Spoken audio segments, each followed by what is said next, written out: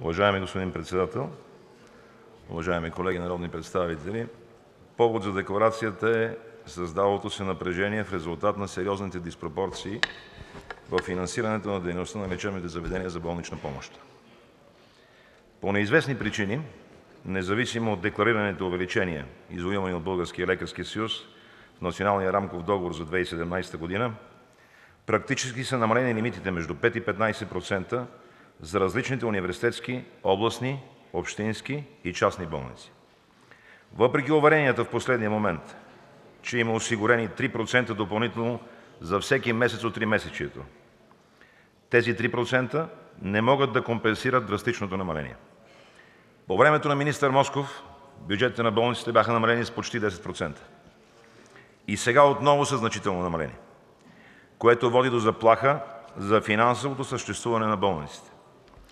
Методиката на разпределение на ограничените финанси на Националната здравноосигурителна каса не предполага равнопоставеност, справедливост и равен достъп до медицинска помощ за гражданите от различните области на страната. Изтичащата информация от различните звена на НЗОК води до основателни притеснения в здравните колективи поради явяваща се необходимост от ограничаване на медицинската им дейност. Значителна част от нея явно няма да бъде финансирана. За сведение трябва изрично да споделим, че по данните, предоставени от НЗОК, надлимитната дейност на болниците за периода от месец октомври 2016 до април 2017 г., която все още не е платена, е над 34 млн. лв.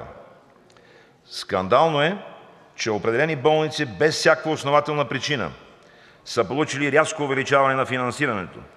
Могат да бъдат показани конкретните данни, без да има никаква промяна нито в структурата и характеристиката на заболеваемостта, нито в броя на гражданите в съответната област.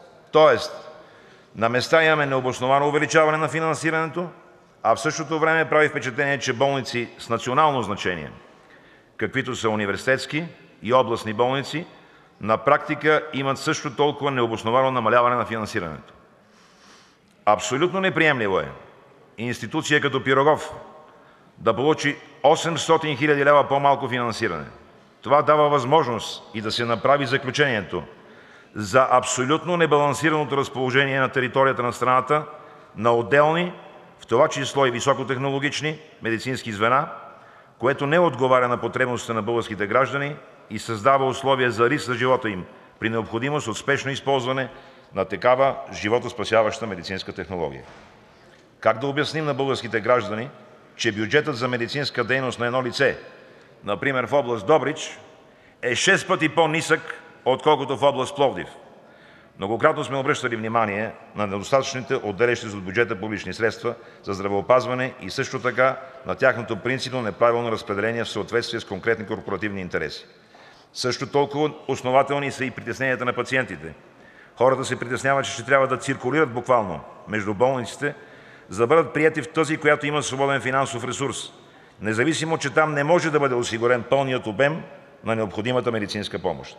Страхуват се и че всичко това води до увеличаване на нерегламентираните плащания в системата на здравеопазването. „БСП за България“ не може да приеме тези факти и затова настояваме да бъде преразгледан и увеличен бюджетът на НЗОК и той да бъде структуриран по начин, който да е адекватен в различните направления на дейност, а не предварително да бъде залаган дефицит, който да поставя във всеки отделен момент здравната система на риск. Стриктно да бъдат спазвани принципите на равнопоставеност, справедливост и равен достъп на гражданите до здравеопазване. Бюджетите на районните здравноосигурителни каси да бъдат изготвени в съответствие с областните здравни карти, експертна оценка на здравословното състояние на населението съответната област и демографските показатели. Решението на Надзорния съвет на НЗОК от 17 януари 2017 г. за плащане на надлимитната дейност на болниците за 2016 г. незабавно да бъде изпълнено. Ако това не се случи, ние ще подкрепим Българския лекарски съюз да отнесе въпроса до Върховния административен съд, защото тази дейност, медицинска дейност имам предвид, е безспорна, след като е приета и отчетена от НЗОК. Отново да бъде поставен въпросът за заплащането на извънлимитната дейност на болниците за 2015 г. и тя да бъде съответно заплатена.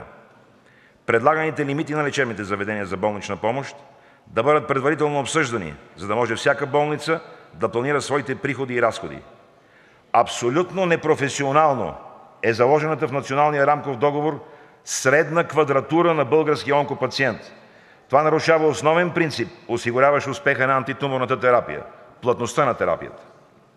Необходимо е спешно преразглеждане на Националната здравна карта и стартиране във възможно най-ранни срокове на преговорите за новия за 2018 г. Национален рамков договор с оглед на необходимостта от максимално оптимизиране на нужната за всички български граждани квалифицирана медицинска помощ, независимо от региона, в който живеят тези граждани.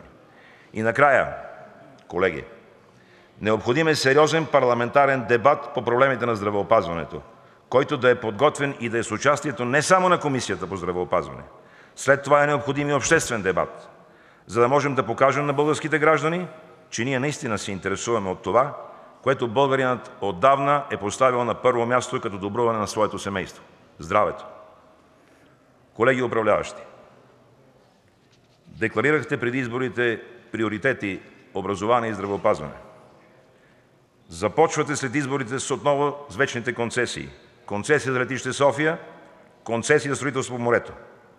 Още едно отстъпление и невяра към тези, които Ви подкрепиха. „БСП за България“ остава последователна в своята политика. Всеки ден ще поставяме въпросите, които вълнуват българските граждани, и ще предлагаме решения за тях. Благодаря Ви, господин Председател. Благодаря Ви, уважаеми професор Михайлов. Това беше декларация от името на парламентарната група на „БСП за България“, представена Ви от народния представител Георги Михайлов.